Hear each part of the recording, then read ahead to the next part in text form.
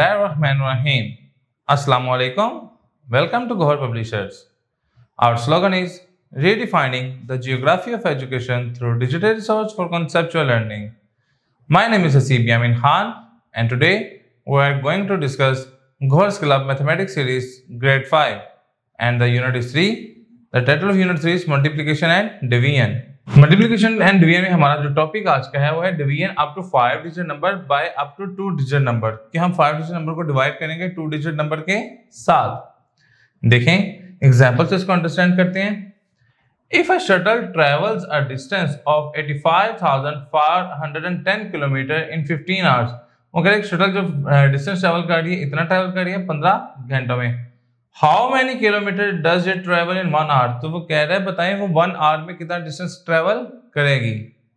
तो देखें to find this अगर हम फाइंड करना चाहते हैं कि वो कितना डिस्टेंस कवर करेगी we will divide the distance by total number of hours तो हम डिस्टेंस को ना टोटल नंबर ऑफ़ आवर्स से डिवाइड कर देंगे।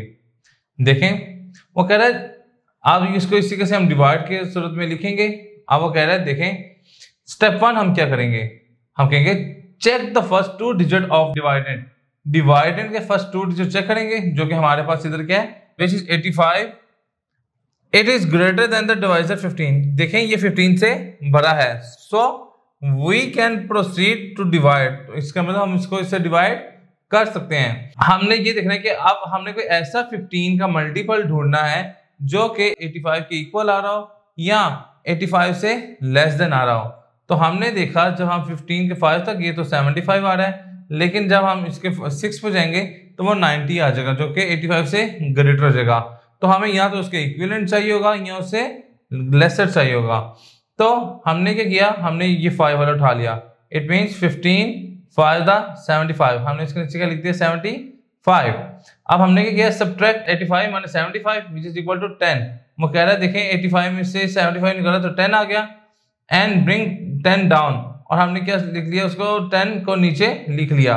अब हमने स्टेप थ्री में क्या किया कि फोर जो ऊपर से है, हमने उसको भी नीचे एक स्टेप नीचे उतार दिया क्यों?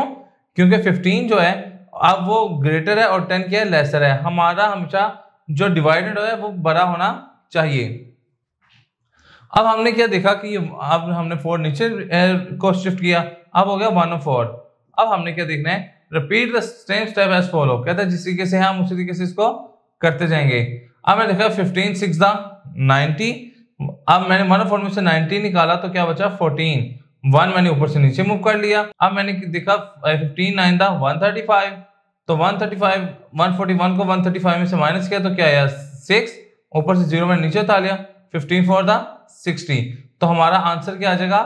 Five thousand six hundred and ninety four ठीक है? कि वो एक घंटे में 5694 किलोमीटर डिस्टेंस ट्रेवल करेगा एक शटल अब हमें साथ साथ वो कह रहे हैं कि देखें what is the question reminder divided and divided and divider क्या होता है? ये जो हम ऊपर लिख रहे होते हैं, जो हमारा मल्टीपल क्वेश्चन होता है, जो हमें डिवाइड कर होता है वो डिवाइजर होता है, जो डिवाइड हो रहा है वो डिवाइडेंट कहलाता है, और जो एंड पे बच है उसको हम क्या कहते हैं? रिमाइंडर ऑल्सो रिमेंबर दिस वो कह रहे हैं डिवीज़न के कुछ स्टेप्स हैं, देखें, वो कह रहे हैं कि आप इसमें एस्टिमेट कर सकते हैं डिवाइड कर सकते हैं multiply compare subtract bring to bring down repeat the step as necessary and check और उसको एंड आप करा के चेक करें। इन स्टेप्स को फॉलो अप करते हुए हम क्या करेंगे कि इनका आंसर आपस में निकाल लेंगे।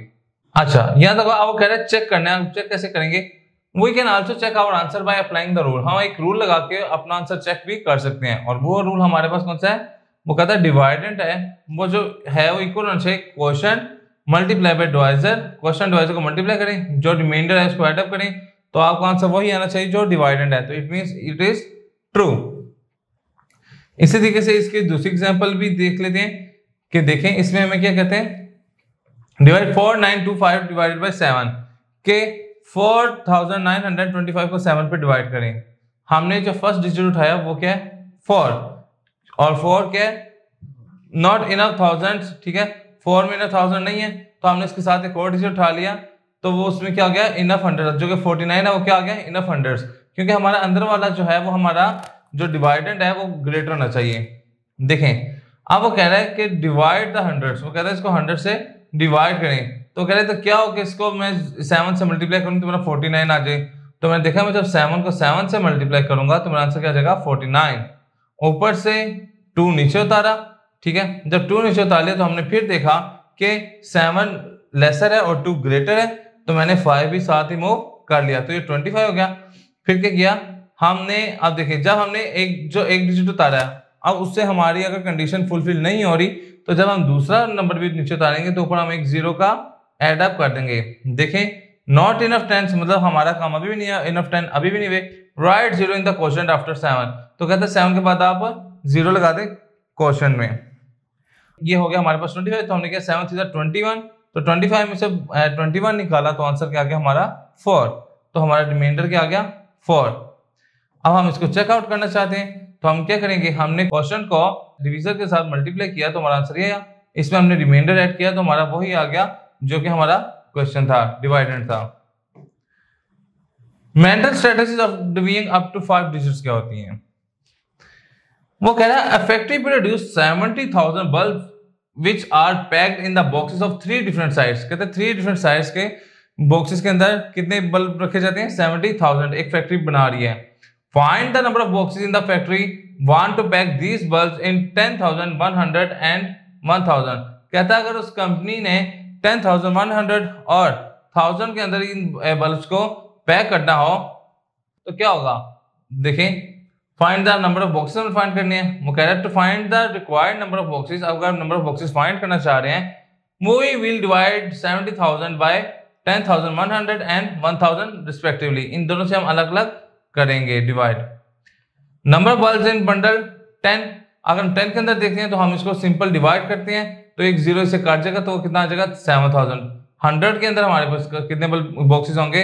सेवन हंड्रेड और थाउज़ेंड के हमारे पास कितने बॉक्सेस होंगे? सेवेंटी बॉक्सेस होंगे।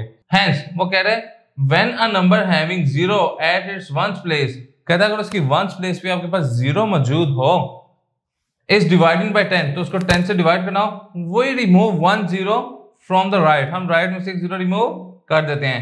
इसी तरीके से अगर हम हंड्रेड से करना है तो हम राइट से दो ज़ीरो रिमूव कर देंगे। और अगर हम थाउज़ेंड से करना है तो हम राइट साइड से थ्री ज़ीरो रिमूव कर देंगे। देखें। अच्छा ये जो था, ये हमारा था कि टेन ये टेन थाउज़ेंड वन हंड्रेड नहीं था, ये था टेन हंड्रेड एंड थाउज़ेंड ठीक है?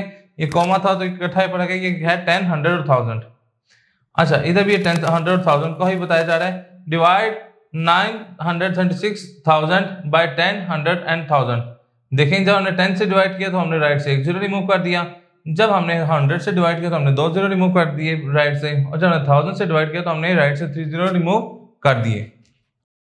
आज का लेक्चर हमारा यहाँ पे मुकम्मल होता है। इंशाल्लाह नेक्स्ट लेक्चर में मुलाकात होती है। गौर पब्लिशर ज्वाइन करने का शुक्रिया। अल्लाह हाफिज़।